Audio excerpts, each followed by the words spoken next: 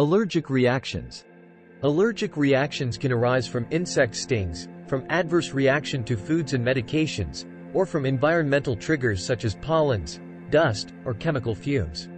Bee, wasp, or hornet stings can produce rapid and potentially fatal reactions while common food triggers include nuts, eggs, and fruits.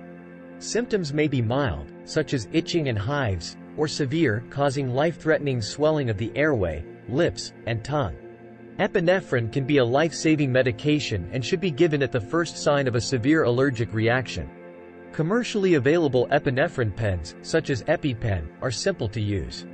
The basic instructions for using epinephrine pens are as follows. 1. Form a fist around the pen and remove the safety release cap. 2. Place the orange end of the pen against the outer mid-thigh, with or without clothing. 3. Push down hard until a click is heard or felt, and hold the pen in place for 10 seconds. 4. Remove the pen and massage the injection site for 10 seconds. 5. Properly dispose of the used device in a sharps container. 6. Note the time of the injection. 7. Seek medical care. Antihistamines, such as diphenhydramine, Benadryl, are also important in the treatment of severe allergic reactions.